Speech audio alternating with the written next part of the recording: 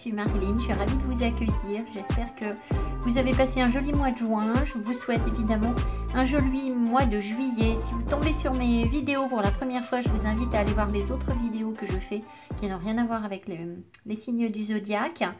Euh, je vous invite à vous abonner, évidemment. Je remercie toutes les personnes qui me soutiennent et qui me laissent des commentaires, qui viennent partager leur, euh, expérience et leur émotion euh, au travers de ces tirages. C'est important pour moi d'avoir un retour, donc merci beaucoup. Voilà.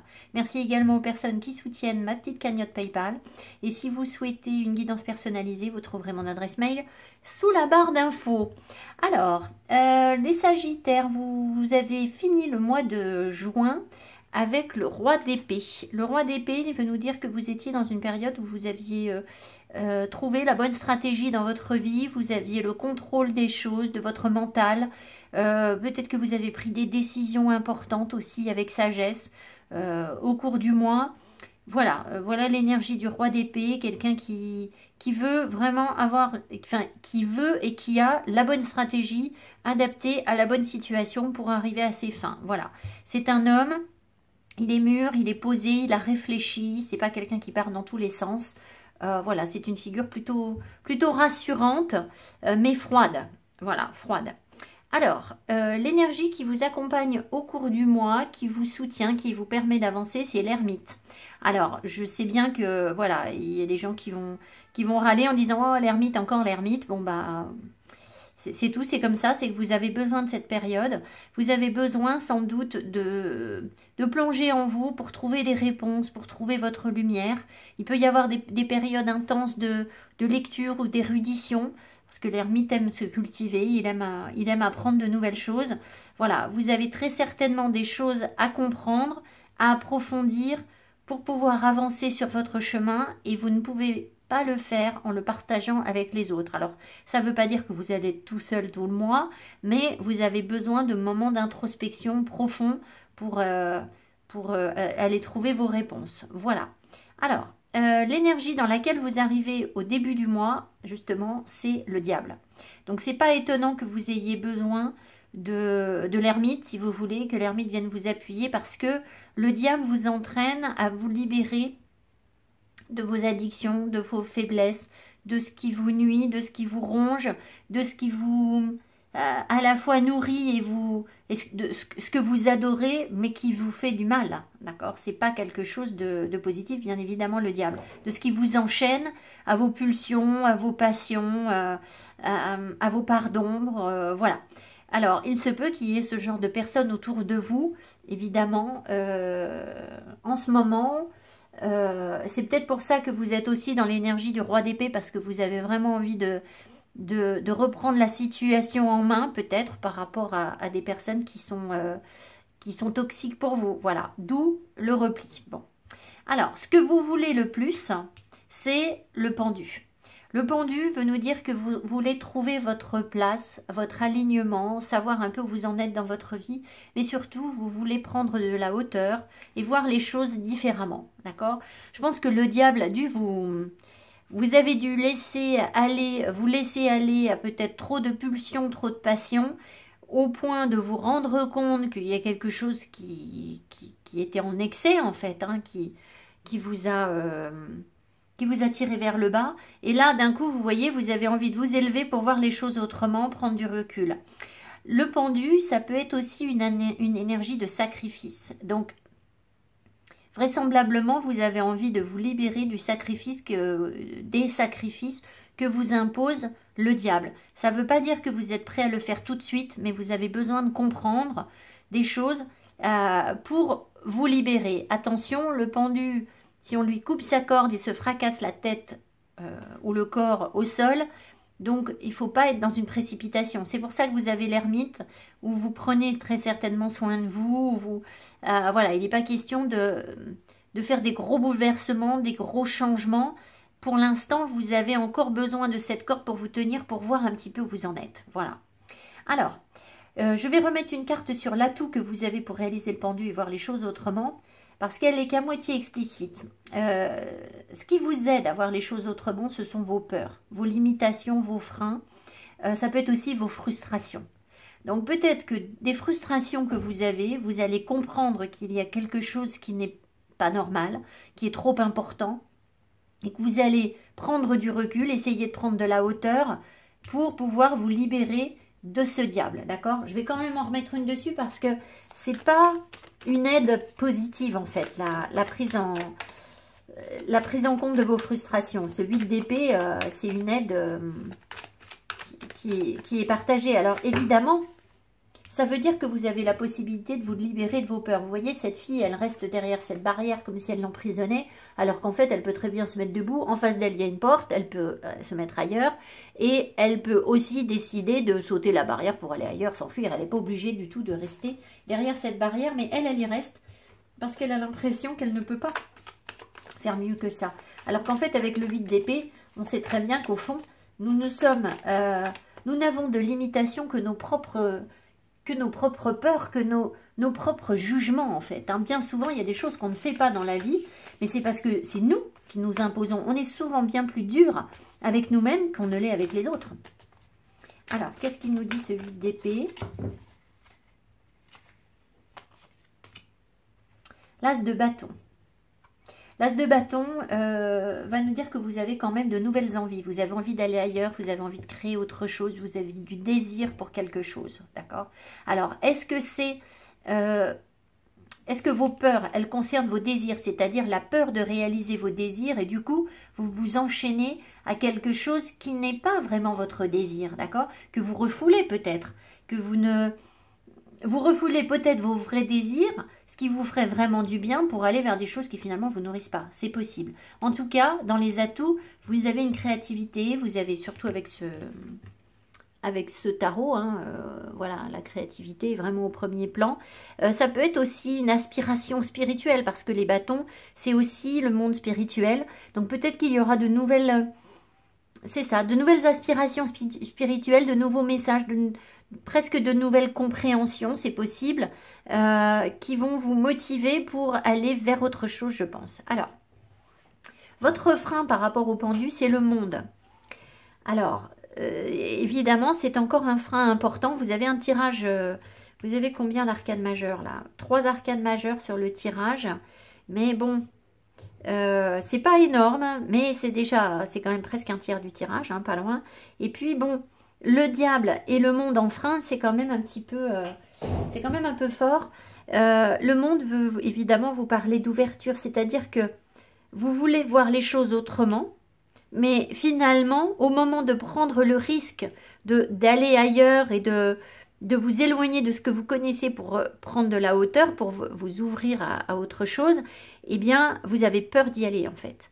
Vous restez, alors peut-être que vous êtes complètement dans l'énergie de l'ermite, c'est-à-dire que peut-être que vous êtes enfermé depuis euh, longtemps chez vous ou, dans vos relations sociales ou que vous êtes célibataire depuis très longtemps et que vous avez vraiment beaucoup de mal à partager, à vous ouvrir à autre chose. D'accord? Euh, Et ça, ça fait aussi partie peut-être de votre diable. Dans ce cas-là, peut-être que vous avez des envies, des pulsions, des, des, passions, mais que au fond de vous, finalement, vous restez toujours terré chez vous. Ça peut être ça le diable, hein, d'accord? Le diable, c'est pas forcément euh, mal agir ou, euh, ou euh, c'est tout ce qui tout ce qui nous empêche finalement d'être libre, le diable, d'accord? Et comme vous avez le monde qui est précisément une carte où on passe un cap et on se libère de plein de choses et on passe à autre chose, on s'ouvre à un autre point de vue, on fait des rencontres, etc. Le, monde, c'est une carte de liberté. Et vous, vous l'avez en frein. Donc, c'est pas un frein mineur. Euh, voilà, il y a peut-être euh, un besoin de s'ouvrir au point de vue des autres, à, d'autres compréhensions. Voilà, euh, des choses qui, a priori, vous, vous font peur, mais qui, qui pourraient, au lieu de vous faire peur, vous enrichir. Voilà, alors, ce que vous savez, ce que vous voyez venir au cours du mois par rapport à ce besoin de, de prendre de la hauteur, de peut-être de vous libérer des sacrifices, euh, de comprendre les choses autrement, de trouver votre vraie place. C'est le page de Pentacle. Donc, vous savez que vous avez besoin de euh, d'apprendre des choses. Le page de Pentacle, c'est un étudiant. Donc, vous avez des perfectionnements à avoir, des compréhensions à avoir. Vous devez être ancré. Parce que c'est voilà, ce sont les pentacles. Donc, euh, il ne faut pas que vous partiez dans des considérations euh, euh, trop, trop éthérées, trop dans la lune. Non, vous avez besoin de concret. Vous regardez est bien les pieds sur terre, hein, et puis assise. Elle est assise parce qu'elle se pose, elle regarde, elle réfléchit à ce qu'elle peut faire, comment elle peut étudier les choses, elle regarde ses pièces, etc. Alors peut-être qu'elle fait un vœu, hein, parce qu'il y a une pièce avec la fontaine. Donc peut-être qu'il faut que vous fassiez un vœu, ça c'est un petit détail au passage. Mais voilà, mais vous savez que vous avez des choses à apprendre en gros, d'accord Voilà. Euh, il se peut aussi que vous ayez ou voyez venir au cours du mois des messages très concrets par rapport à votre corps, par rapport à vos, finances, par rapport à des situations euh, euh, très concrètes, des opportunités matérielles que vous pourriez saisir. C'est possible, d'accord? Ça peut être un message en ce sens, voilà. mais ça, j'ai envie de vous dire, ça ne vous surprend pas. Ce qui vous surprend, c'est le, roi de coupe. Alors, c'est justement assez surprenant. Euh, ça peut vouloir vous dire qu'il y a l'énergie d'un roi de coupe autour de vous et que vous ne le savez pas. Euh, le roi de coupe, ça peut être euh, bah, quelqu'un qui a des sentiments pour vous très forts, mais très mûrs. C'est pas quelqu'un qui va s'étaler, qui va être envahissant ou voilà. C'est quelqu'un qui va avoir de la mesure dans ses émotions, mais vous voyez, d'ailleurs, il est un petit peu ici dans la retenue, ce roi de coupe même. Hein. Il, gère, il sait complètement contrôler ses émotions. Voilà, alors, soit c'est vous, vous, vous êtes surpris de voir que finalement, vous maîtrisez beaucoup mieux vos émotions que ce que vous aviez pensé avec le diable qui, lui, avait tendance à jouer là-dessus. Ou alors, c'est une personne qui a cette énergie auprès de vous et qui vous aide, ou alors qui vient vous voir et vous êtes surpris, enfin qui vient vous voir, c'est une façon de parler, que vous rencontrez, que vous côtoyez, qui vous envoie de l'énergie et vous êtes surpris par rapport à ça. Voilà. Euh, en tout cas, il y a quand même un petit peu une notion de, de maîtrise des choses, d'accord?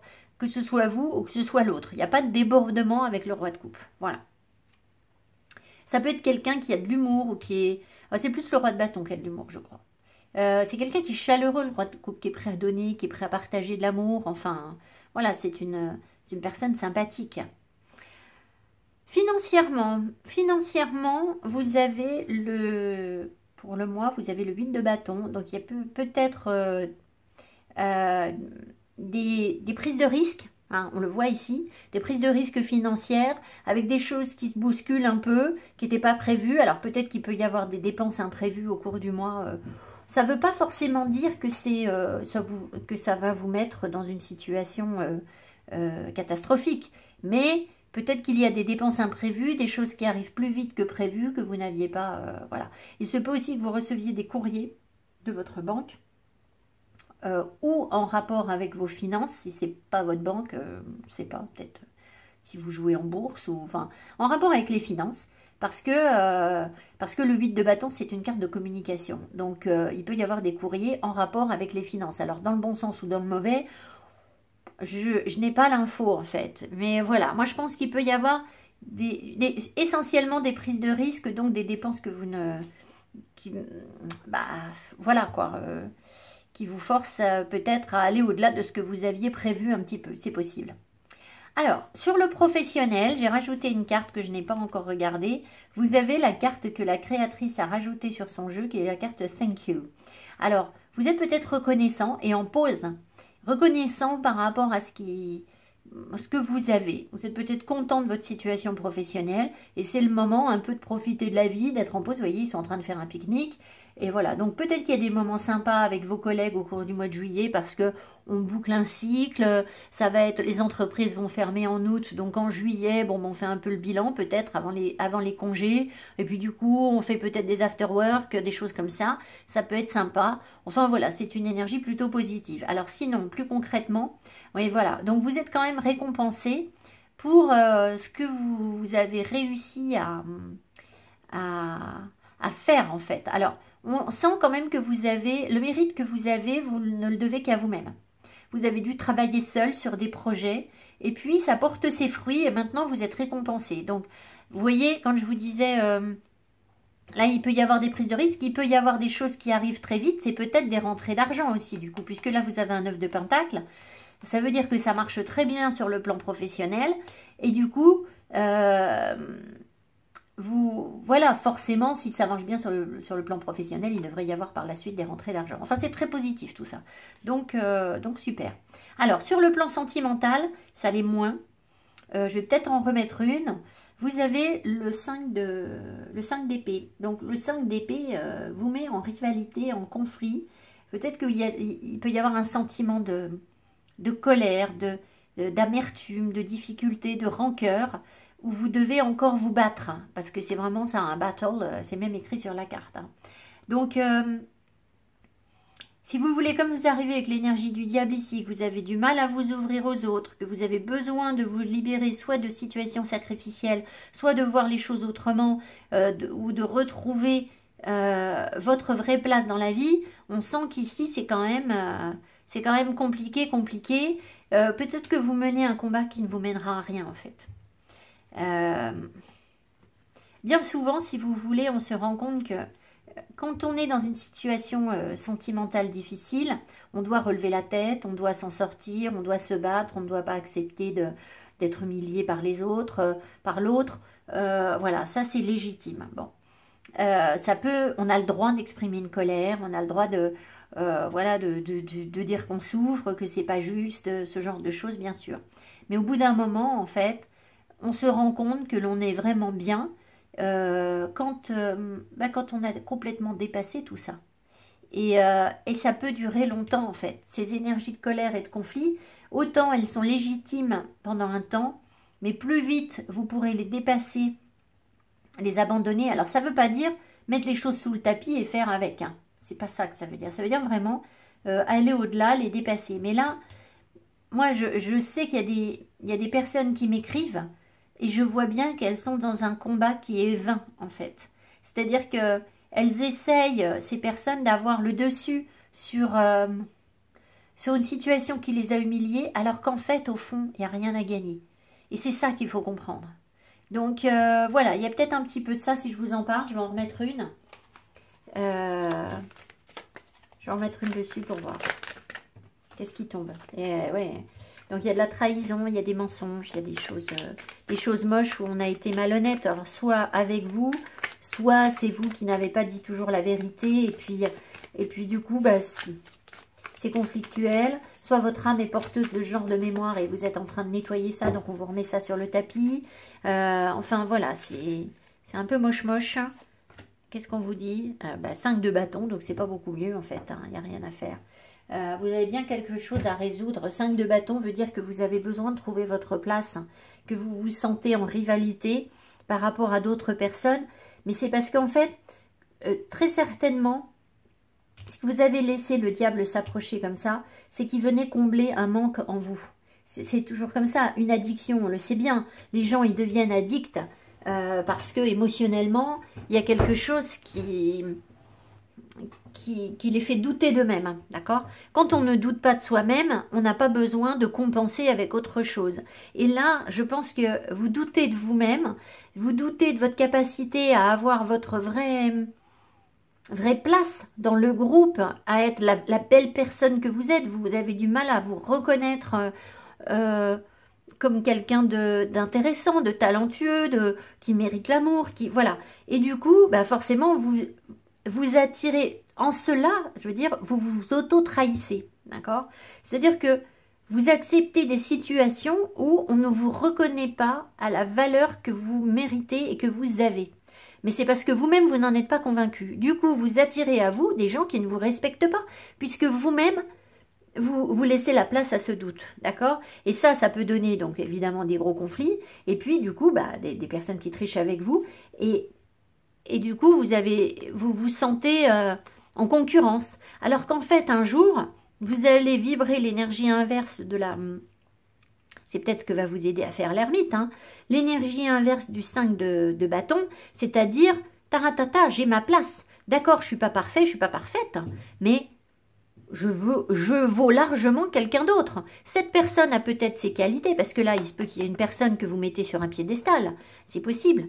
Cette personne a peut-être toutes ses qualités, ceci, ceci, cela, mais vous, vous en avez d'autres. Le jour où vous allez vibrer le 5 d'épée, le 5 de bâton de manière positive, eh bien, euh, vous allez euh, être capable, alors c'est peut-être ce qui se passe là, hein, mais J'ai quand même des doutes, hein, avec deux autres cartes négatives, ça me semble peu probable. Mais bon, le jour où vous serez capable de dire, mais moi, je, voilà, je, sais qui je suis, et je veux pas être au-dessus des autres, mais je suis comme les autres, je vaux pas moins que les autres. Ben là, vous allez comprendre qu'avant, vous allez pouvoir porter un regard sur l'attitude que vous aviez avant, où vous vous êtes dévalorisé sans vous en rendre compte, en fait. Ça, c'est, euh, voilà, ça prend du temps, il faut, voilà. Et vous voyez, vous avez votre page, là, il va vous aider à apprendre. Et puis, on vous aide à aider vos émotions, à, apprivoiser, à, à, maîtriser vos émotions également. Si bien que, en fin de mois, eh bien, vous êtes pas mal du tout, à mon avis. Vous arrivez avec la reine de coupe. Alors, soit vous avez une reine de coupe autour de vous, donc messieurs, ça peut être une femme euh, euh, qui, ressent de l'amour pour vous, bien évidemment. Mais, euh, mais pas que, ça me fait rire parce que là, ils ont carrément dessiné un caddie Ikea. Enfin, n'importe quoi. Bon, bref. la créatrice a mis un, caddie Ikea là. un caddie à roulette. Alors, donc, excusez-moi, je digresse. Donc, en fin de mois, vous êtes dans la générosité, le partage, l'amour. Alors, je vous souhaite vivement que ce soit l'amour de vous-même parce que j'ai vraiment l'impression que euh, c'est ce dont vous avez le plus besoin. Et puis, si vous avez moins besoin de vous aimer parce que vous savez faire, eh bien, ça peut être l'amour d'une autre personne. Ça peut être aussi que vous êtes capable de donner de l'amour aux autres. Et euh, voilà, être euh, dans un dans une maîtrise généreuse de vos émotions, d'accord? C'est pas le roi qui, qui est vraiment dans le retrait. Euh, la reine, elle accueille des choses. Elle n'a pas de mal non plus à, redistribuer son émotion et euh, elle, elle n'en fait pas fait pas tout un cas en fait. Elle a, elle donne généreusement sans que ça lui pose souci en fait. Voilà, la reine de coupe, c'est ça. Voilà, donc c'est euh, plutôt très encourageant sur, sur cette fin de mois. Euh, d'autant que vous partiez avec un fil à la patte hein, et que là, ben, euh, j'ai presque envie d'en remettre encore une petite dernière. Alors, non, par contre, je vais rajouter avec ça. Euh, ce que j'aurais dû faire avant d'ailleurs? Pas grave. Ça devait être comme ça, j'en remets une par rapport à ce fil à la patte là. Sur la fin de mois. La tour, vous voyez. Donc, euh, ça veut dire que vous allez être complètement euh, capable de remettre en cause, de détruire euh, ce diable-là. Ça, c'est, il y a des grosses remises en cause qui se mettent en place et vous allez lâcher vraiment. Vous lâchez ces, je vais dire addiction au sens large, hein, voilà, pour, pas, pour parler au plus grand nombre. Et parce que vous êtes dans, dans l'amour de vous-même et de l'amour des autres. Vous avez de l'amour inconditionnel à partager là. D'accord? Donc, euh, euh, les choses qui vous tiraient vers l'arrière, vers le bas, euh, qui étaient égoïstes, la possessivité, etc., ce ne sont plus des choses qui vous parlent, en fait. Voilà, ça ne doit plus résonner en vous. Enfin, c'est ce qui va se passer progressivement, en fait. Voilà. Avec de nouvelles compréhensions, évidemment. Voilà les Sagittaires. Donc, un, mois quand même assez, assez important, je pense. Hein. Vous êtes sur un carrefour, là, assez intéressant. Je vous souhaite évidemment donc un très joli mois de juillet, que les choses se passent en douceur. Et puis, euh, je pense que le diable, si vous voulez, il est déjà un petit peu, euh, voyez, il est déjà un peu, il est là, de ce côté. Il est déjà un petit peu parti. Vous avez peut-être fait le plus dur déjà par rapport au diable. Donc euh, voilà, courage et, euh, et, puis profitez de la vie aussi. Hein. N'oubliez pas de profiter du joli mois de juillet. Je vous embrasse. Pensez à vous abonner, à me mettre des petits pouces. J'attends vos commentaires. Je vous dis à tout bientôt. Et euh, si vous le souhaitez une guidance personnalisée, mon adresse mail est sous la barre d'infos. Merci, bye bye